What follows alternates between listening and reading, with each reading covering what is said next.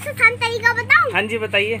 चाय बहुत ही पीता था। हाँ जी बहुत ही चाय पत्ती लो अपने मुँह में डालो चीनी लो अपने मुँह में डालो अदरक लो अपने मुँह में डालो पानी लो अपने मुँह में डालो है। और ना दूध लो अपने मुँह में डालो हम्म। और ना धूप में खलो के नाच लो बन जाएगी। चाय ऊपर से सूखे बिस्कुट खा लो।